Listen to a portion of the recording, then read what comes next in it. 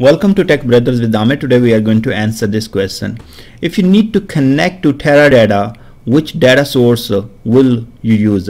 So for SSIS, what we have seen that uh, in uh, if you go and uh, take a look uh, in the providers, what we have here in the I'm in the data flow task right now, and I'm going to the sources and uh, see if there is any source what we have for Tera, Teradata. So right now I do not see anything for Teradata here. We have ADO.NET source, we have uh, um, CDC source and uh, ODBC and OLEDB and all that. So let's uh, get to the ADO.NET source.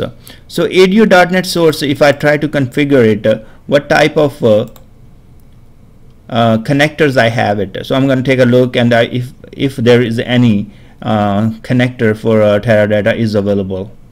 So let me show you here.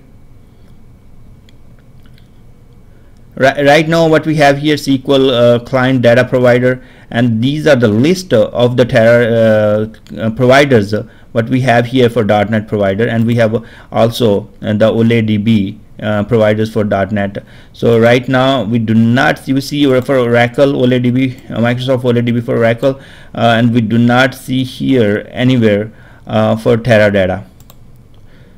So what we can do, we can download uh, .NET provider for the Teradata and then once we install that one you will see that that one here in the list uh, and uh, that's how we can uh, use that um, provider and uh, connect to the Teradata. So our best is uh, download the .NET provider for uh, uh, for the Teradata, install it. Once it will be installed, we will be using ADO net uh, source to uh, to connect to the Teradata. Thanks very much for watching this video, and I will see you next video.